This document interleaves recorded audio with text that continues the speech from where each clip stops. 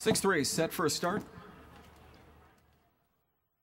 They're off and pacing. Pushback, push the gate away. Gingras firing to the frontier with pushback from the 8 gate. Down the center, Apprentice Hanover drops to the 2 hole. AJ Corbelli with a good ringside seat there, third. Fourth away, Boom Boom Ballykeel. And up and behind them from in fifth as they charge to the quarter pole is Captive Audience. Then it's back to Ellis Park, sixth. Seventh as they drive over to that opening quarter is He's a Sensation, Rock Me Amastraios with one rival beaten, and that's post nine starter Aslan who trails. Quarter speed of 26 and 3, and pushback is on point here. Pushback in Gingras, length and a half in front to 3 eighths. Apprentice Hanover enjoys the two hole perspective. AJ Corbelli third, single file fourth, boom boom Ballykeel.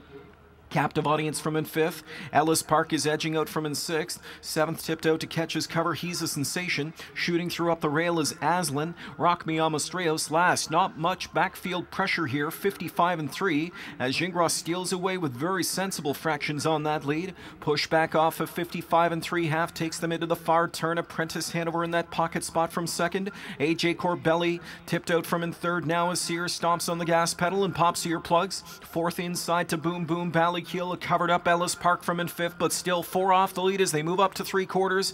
Gingras and push back the one to catch. Three quarters in 123 and 3, 28 second, third quarter. Push back coming into the stretch. First over is AJ Corbelli. Apprentice Hanover trying to wedge his way out from in third now. Shooting through up the cones. Captive audience. The door was shut on him. Deep stretch lead AJ Corbelli. Ellis Park on the outside. Steamrolls late. Here's Apprentice Hanover scurrying through at the rail now. AJ Corbelli. How about Boom Boom Ballykeel? Boom Boom Ballykeel on the big stage comes up huge. 25 to 1 stunner. Boom, boom, Ballykeel in 150 and a fifth.